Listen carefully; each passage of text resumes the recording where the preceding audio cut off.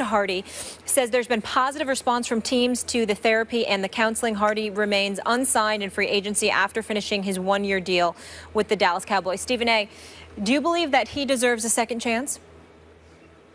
No, I do not. Not at this moment in time.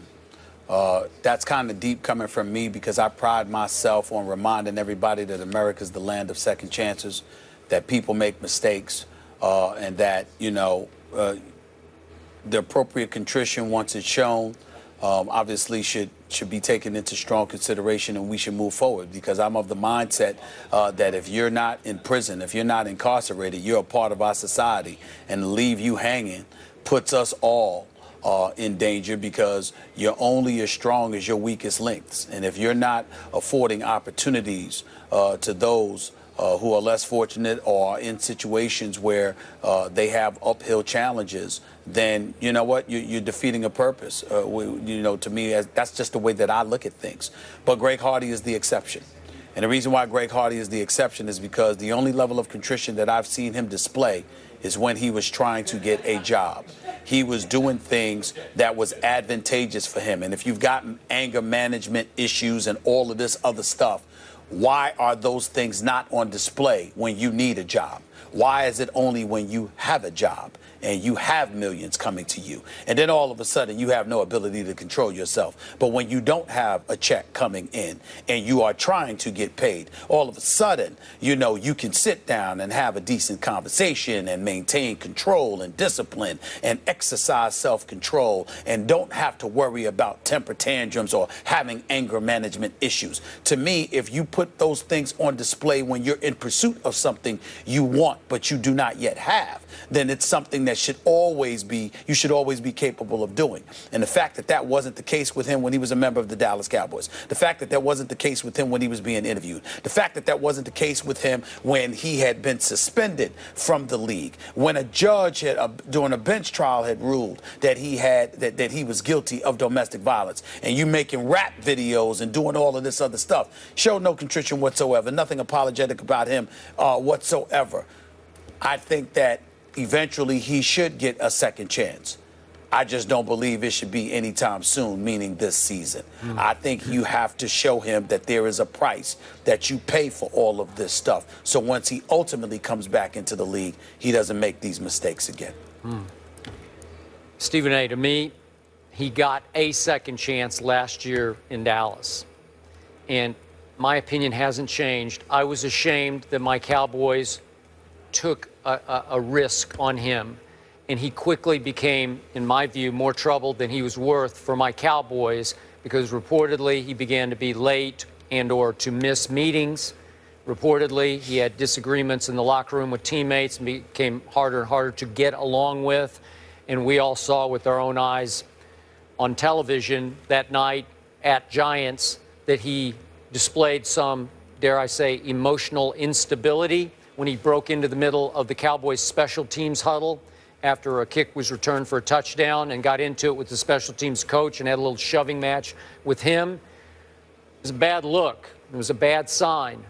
And now I get it that it's it's supposed to be a good look for him, Drew Rosenhaus's agent, to say, well, at least we're going to counseling here and we're, we're doing it for all these things that Molly listed anger management and temper management and attention deficit and domestic violence, you know, everything, all, all these sessions. Okay, I, I, get all that. But to your point, Stephen A., not once has he shown a, a hint of remorse or contrition for his domestic violence incident. Not once. And, and until he at least does that, he, he, to me, has no chance of ever getting back into the league because he's still toxic just because of that. In his recent interview with Adam Schefter, not only did he not show any remorse or oh. contrition, but it was, whoa, I've never put my hands on a woman, and you just think, well, you're delusional. I, I don't, I don't know. And, and to me, that was the, the, the final straw where the, I, I, I would think most people around the league, most GMs, presidents, owners would say, no, it's over. Enough of that. Can't say it any better, Skip. Yeah. You said it perfectly. My thoughts exactly. This past year was was the second chance. Coming up next, the Heat face elimination tonight at home. Stephen A will be covering that game. Will Dwyane Wade be able to send the series back to Toronto for a game seven? We'll get into that when we return. Stay here. Now, Miami is a four point favorite at home. Stephen A, do you think they push it to a game seven? I do believe they do because they have Dwyane Wade, and I can't I can't imagine him going out this way. Skip Bayless, I you know I, I, I spoke to him briefly the other day. He he he wants to win this so badly. He would love to go up against uh, LeBron James in the conference finals. I don't know if they're going to be able to pull it off because I don't know if they can win a game seven in Toronto without Whiteside because I don't know. I know he's not playing tonight. Deng is questionable for tonight, uh, but but I think they can win tonight without those guys. I don't know if that can happen in the game seven. I'm going to roll with Miami to win game six tonight and force a game seven back in Toronto this Sunday afternoon. But they got to get it done tonight first. You know, one reason we were talking about LeBron decided to watch movies with his kids, How the Grinch Stole Christmas, and then whatever the vampire movie was. That was an odd combination to me, but anyway, whatever. But one reason I think he no longer cared about the Heat or what threat they are, Stephen A., now that Whiteside is out, maybe for the rest of the playoffs with a sprained knee, and obviously Chris Bosh is out, maybe LeBron just said, well, as, as great as Dwyane is, certainly at this stage of his career, they're just they're not much of a threat to Cleveland anymore. So it doesn't really matter that much anymore. So I'm with you. I'm rooting for Dwyane. Dwyane was great the other night down the stretch, and Kyle Lowry was greater. And, and he'd been in a slump, and my goodness, what the, the shots that Kyle Lowry made. What's that? Yeah. Kyle Lowry's always had a lot of heart. I know I, him from know. his days well, at Villanova. Yeah. He's always been feisty uh, and he goes after it. Yeah, and yet he'd been in such a terrible slump to have the guts to say, no, I'm going to slam this door. He saved Toronto from Dwyane Wade the other night. He alone made one big three from about four feet outside the line, behind the line. And I just sat back and said, well, that's just too good. DeRozan got untracked again. And again, the two big guys are out. So now it's sort of D Wade at home defending his turf. Happy you're going to be there. I think it's going to be fun to watch. I, I think, speaking of heart and guts, and nerve and savvy, I, I think Dwyane and Dwyane alone can hold down that fort tonight and get them back to Toronto. But yeah. we both picked Miami to win. I'm, I'm just not sure they can go back to Toronto now that the Toronto Stars have gotten back on track. I'm just not sure they can well, not, win that game. N- not, neither am I, but we picked them believing that Hassan Whiteside yep. will be on the floor and healthy, and that's not the case. Yep. Luol Deng uh, is not healthy now, but Joe Johnson, I mean, the guy is too gifted, silky smooth to yep. be giving me 11 points or whatever.